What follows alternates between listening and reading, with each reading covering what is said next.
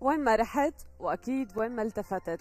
بهالأيام أكيد رح تصادف شخص كان مرشح أو حتى مصاب بالقريب أو معه جيوب أو ربو تحسسي وما إلى ذلك. فبفترة تقلب الفصول وتحديدا بهذا الوقت تقريبا تكتر حالات المرض والعدوى بالإنفلونزا وخاصة يعني امبارح شهدنا بتوقع يا رغد أربع فصول بيوم واحد يمكن. يعني هيك اختصرت. نظامي مطر ورعد وكل شيء. يعني أنا نفدت بصراحة. كده فؤادي بعك بحرمة وقربوا وأنا الحمد لله لحد يعني هلا نافذة.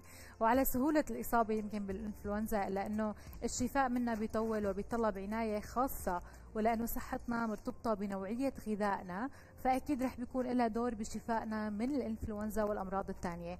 هذه اللي رح نعرفه ضمن فقرتنا لليوم مع ضيفتنا اختصاصية التغذية ثواب الغبرة يلي صارت معنا رمضان كريم وأهلا وسهلا بحضرتك. وعليكم أكرم يا رب ميت أهلا وسهلا. أهلا وسهلا فيك يعني هلأ كنا عم نحكي أنا ورغد عن هاي المشكلة اللي عم بتصيب معظم الأشخاص وفعلا للأمانة يعني هي شغلة مزعجة جدا ويعني ما بعرف شو بدي أقول لك بتخربط لك كل الإنسان على حياته. نظامي لا النوم فيك بقى ترتاحي فيه لا الأكل فيك تستمتعي فيه لا القعدة. يعني لما بتمسكك العطسه خلاص بقى. إنك عن هيك وسددان النفس. تماما. فهذا بقول ثلاث أيام بيكون الإنسان عن جد بيستقصدها من حياته بيقول يعني إنه بس أنت بدك تبرق بسيطة ممكن يعني بتصيب مثلا كل العالم ما بتخوف من كما يقال ولكن بنفس الوقت كمان مزعجة. فخلينا نحكي عنها أسبابها. كيف فينا نتصرف معه؟ كيف فينا يعني نقي حالنا ممكن من الإصابة من الإنفلونزا؟ لأنه بالعادة نحن نحكي عن الهي وقت بده يفوت علينا الشتاء يعني الشتاء أو هالأمور.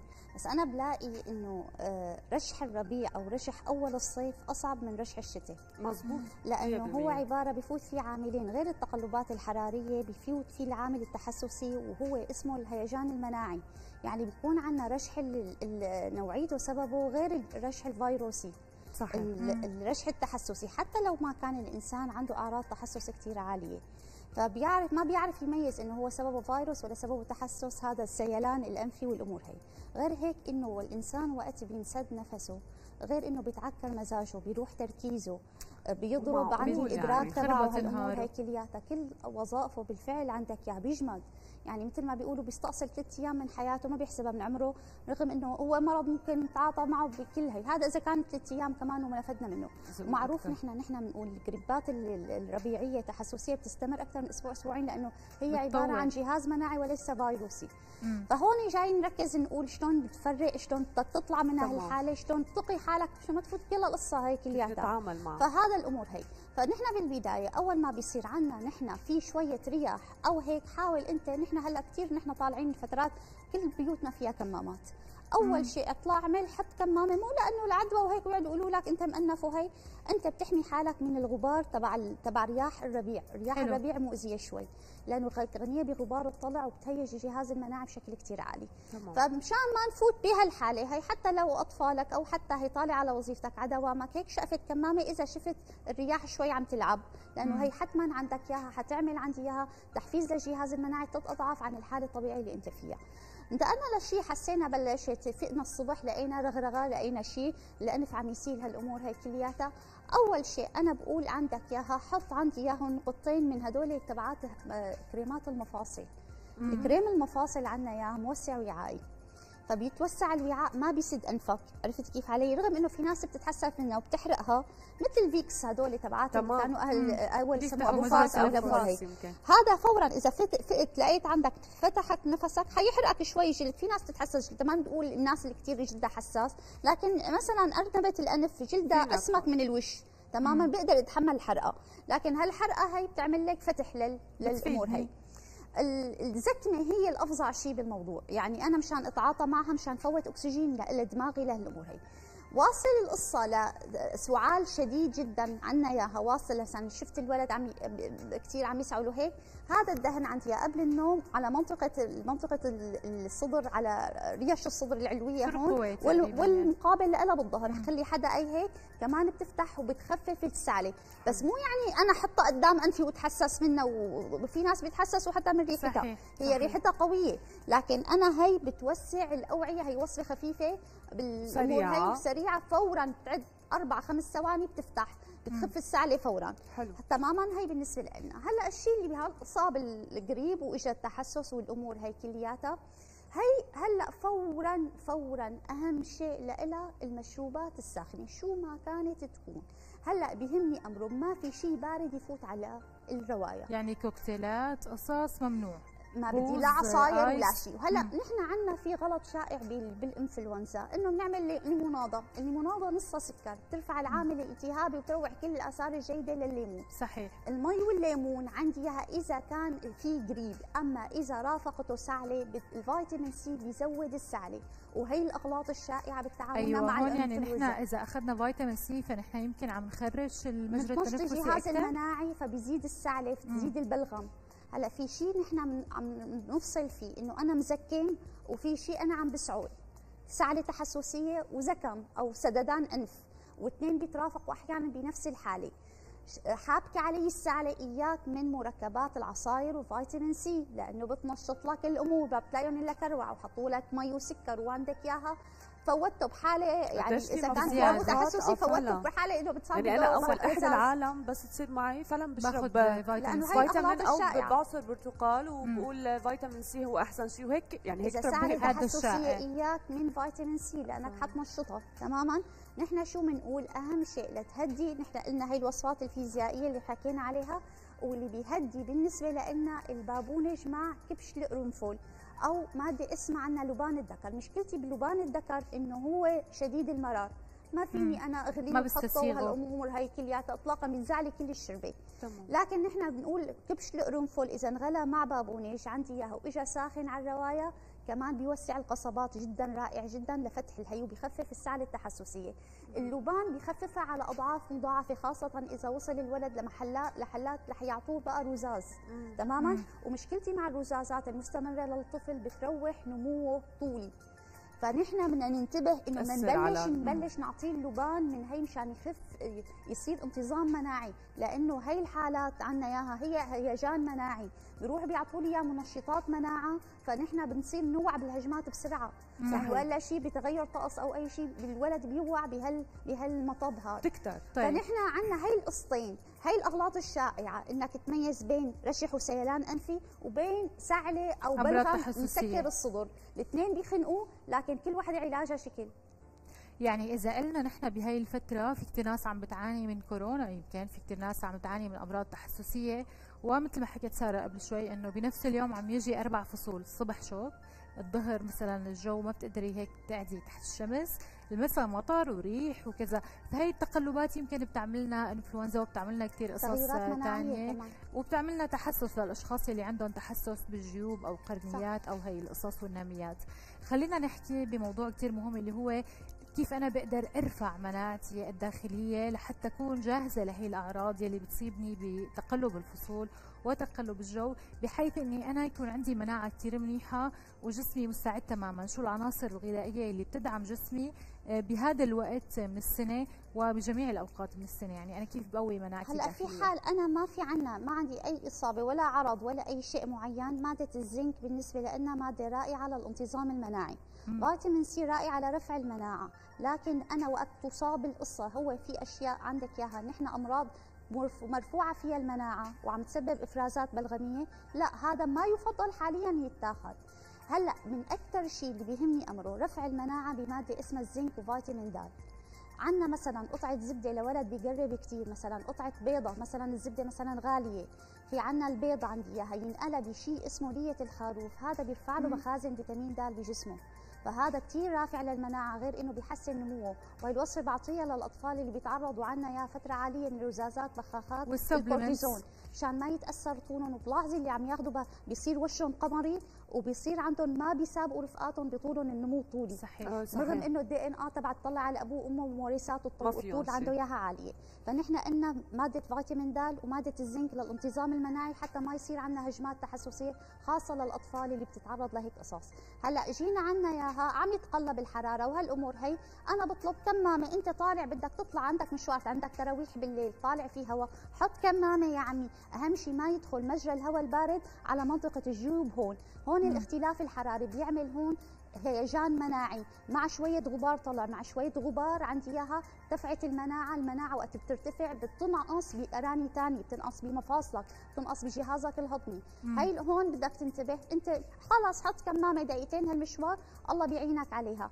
حسيت إنه جوا عندك بارد صاير برا هي حاول هيك بس بي بي بي بي أوقات بأي شيء من عندك. كاسة مي يمكن قبل ما تطلع على جو مثلا مختلف عن الجو. هل المعلومه صحيحة؟ توازن السوائل عندي جدا رائع بس نحن نحن بنقول التوازن السوائل إذا أنا مثلا صايم أو أنا هالأمور هي كلياتها توازن السوائل حتما بيعمل انتظام مناعي. مم. الإنسان اللي ما بيشرب مي حتما جهازه المناعي مو مبرمج على أي شيء. نحن بنقول عندنا شغلتين بتخربط الدنيا بالمناعة هو السكر وإحنا عندنا الخطأ الشائع بيعملوا له كاسة لمناضه نصها سكر. لك يا عمي اللي اخذته فاتي 10% من هالليمون روحته انت بالسكر عندك يعني. يوم أنت بترشح اجاك حدا عامل لك عصير فيه عندك يا سكر تكبه بالبلوعه أنت مم. لأنه رفعت شيء اسمه العامل الالتهابي بجسمك. طب شو العصير الأحسن مي عص مي وعصرة ليمون إذا مرشح والسوائل الساخنة يعني مرقة دجاج يعني يسلقوا لك دجاجة وشربوك مرقتها يفوت بخارها معها يعني يحطوا لك قطعة غار عندك إياها مثلا قرفه هالأمور هي بتفتح المجاري هي عم نحكي مو عم نحكي عن بلاط من اي عصير آخر. بالضبط. هي الشوربات كثير مريحة حتى والإنسان هو عم ياخذها بحس لعينه ارتاحت هي الاهم شيء طيب هلأ إذا حكينا عن المشروبات وذكرنا البعض هل هذا الشيء كمان بينطبق على المأكولات الوجبات اللي ممكن يتناولها؟ إن كان هلأ عم نحكي مثلا بفترة الصيام على الفطور أو السحور آه، أو بالأيام العادية في أكلات معينة بتهيج هي الحاله إذا كان في بلغم وفي مخاط كثير عندك يا الاجبان والحليب ومنتجات الألبان بتعمل زيادة لأفراز البلغم. هي بدنا نحاول نقلل منها حتى لو مطبوخ لبن مطبوخ قديش مريح اللبن المطبوخ.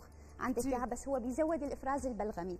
لكن أنا بقول مرقه الدجاجة أفيد بهيك حالة عندي إياها. آه. خاصة إذا نحط لها شوية قرفة وشوية غار وهالأمور هي. المهم عندي مادة الكركم. هذا إذا تذوب بزيت زيتون ونحط عندي إياها هذا بيوقف العامل الالتهابي تبع الرشح التحسسي. يعني هي إذا وصفة بنحط شوية عندي إياها معلقة كركم بقلب شوية زيت. ما بدك هيك سفيت المعلقة بعدها زيتونتين أو معلقة زيت. هي بتوقف العامل الالتهابي. فورا بتطالعك من المرض بسرعة. النقطة الثانية كمان هي الوصفة ذاتها للوقاية، الناس اللي عندها تغيرات وعندها إياها وعندها طفل عندها قابلية يعني. وهالأمور هي كلها، الشيء الثاني اللي كمان بينظم المناعة إنك تقطع العجين ليلا، يعني كل شيء الكربو أخو السكر، يعني أنا بالنسبة لي هذا عامل التهابي شديد بيعمل بلغم كمان ليلا، اللي عندها هجمات سعلة وبتدخن وبيجيها الهجمة ليلا، أول شيء تعمل وصفة الفيكس. نحن اللي بدنا نقولها عندك إياها على منطقة الصدر وعلى منطقة الظهر. النقطة الثانية حبكة السعله جدا جدا عندي إياها. حدا يدلك له من أحبابه منطقة القدمين.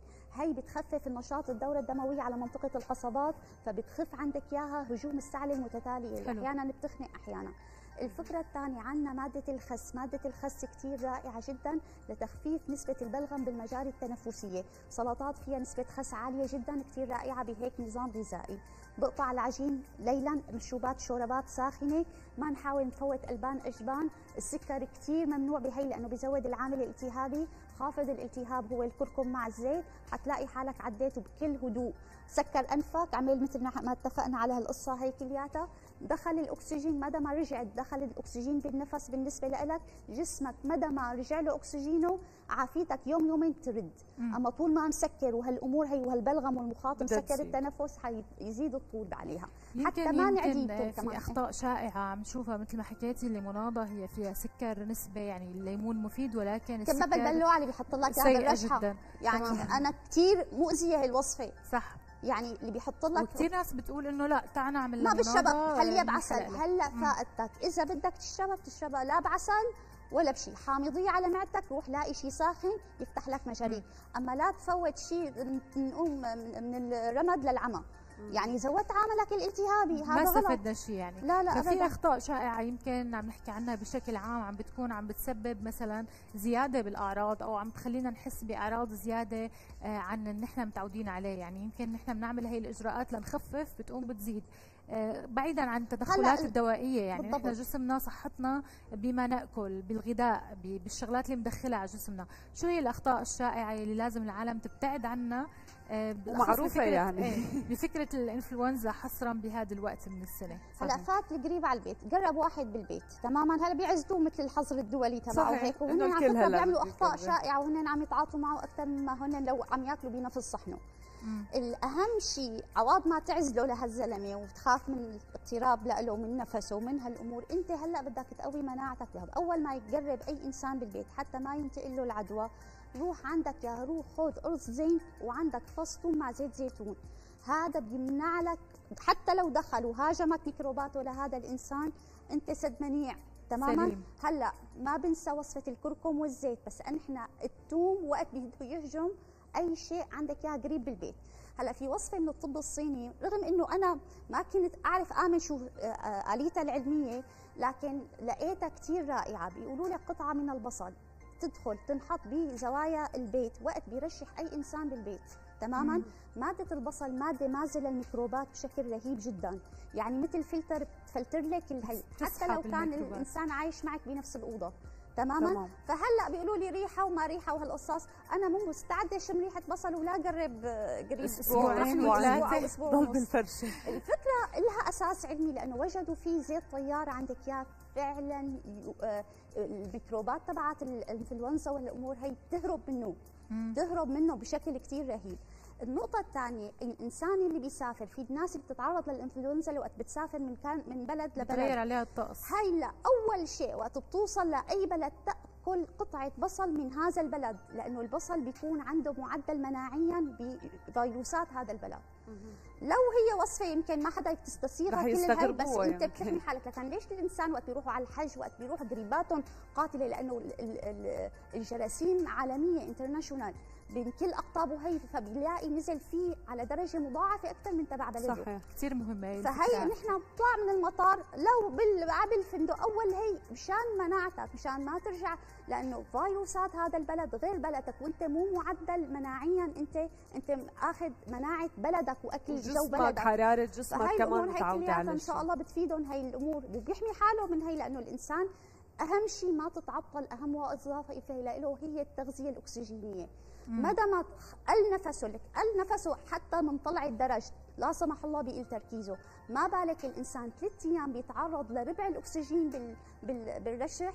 عن الحالة الطبيعية. ونحن طبعا. أساسا نتنفس من الطبقة السطحية لرئتينا. ويجي ثلثها كمان ينقص فشو صار بالدماغ التربية الأكسجينية؟ طيب هلأ كيف فينا نفرق؟ يعني نعطي شوية معلومات للأشخاص اللي عم بيعانوا من بعض هاي الأعراض. كيف فينا نفرق بين الحالة الطبيعية يلي بتمرق ببعض هاي الوصفات اللي حضرتك ذكرتيها؟ ممكن تمرق الأزمة. وبين الشخص يلي بتستدعي حالته مراجعة طبيب مثلا وعنده مشكلة صحية. يعني في أشخاص مثل ما ذكرتي السعلة بتكون سببها مرضي. طبعا. كيف أنا بدي فرق إنه أنا هون؟ لأ صار لازم شوف دكتور بوقف موضوع الفيتامين سي والكركم وهي القصص لأنه يمكن بحالتي أنا ما تفيدني. الأعراض شو اللي بده يعطيني لأنه في أعراض سبحان الله مثلا أنا كل دقيقة بالدقيقة الواحدة في 40 40 ثانية أنا عم بسعر 20 سنه لآخذ نفسي. هو عن السالة عم ما عاد في لعبة. هذا بدك تحمل حالك في رزاز بده يفتح بده يفوت شيء عليك يفتح المجاري. لأنه هذا وبعدين السعله انقباضها لمنطقة الظهر لمنطقة الكولون لمنطقة بتكركب كل منطقة الجزع من من أسفل الظهر لآخر منطقة بالكتف. هي قديش مجهدة على القلب يعني صحيح. بحس الواحد كأنه طالع مثلا طابقين من ورا ساعتين ثلاثة متتاليات. على كل الأحوال هاي الأعراض بتبين ما بتخبي حالها لكن نحن متعودين على إنه الرشح مرض واحد هو سبعين ألف مرض بأعراض واحدة. سبعين ألف فيروس يعني هو هي المشكلة. مرة نفدت معي ثالثة نفدت معي. أحيانا السابعة ما بتنفد معي بحسها شو قصة هذا القريب لا صدحني صدح لا في إلنا لذلك نحن أعراض متشابهة لأسباب مختلفة. تمام. وبرجع بقول القريب التحسسي غير القريب تبع الفيروسي تبعك. عندك غير مثل الربو في ربو تحسسي في ربو وبنتعامل معه كله بنفس الأمور التقليدية واخلاط ما هب ودب فيها صحيح. ويعني بغض النظر يعني مثل ما بيقولوا مرض صحيح هو بسيط على ما بعنوانه صحيح. كبير بمفعوله حتى ولكن سبب وفيات أكثر من كورونا يمكن القريب سنويا بيقتل نسبة من الأشخاص أكثر إيه من كورونا. ممكن يتطور لالتهاب رئوي. فهذا هو إذا كبير السن عبى شوي البلغم بصدره وهو أساسا وظائف القلب تبعه عنده إياها منخفضة هو وظائف الرئة أخذته صرنا بمكان ثاني يعني. شكرا كثير لوجودك. يعني ما بنمل من حديثك دكتورة وأكيد في لنا لقاءات قادمة. رمضان كريم عليك يا رب وكل عام وأنت بألف إن شاء الله العافية لكل المشاهدين. رمضان كريم يعطيك ألف عافية يا رب. يعني مشاهدينا أكيد بتضل الوقاية.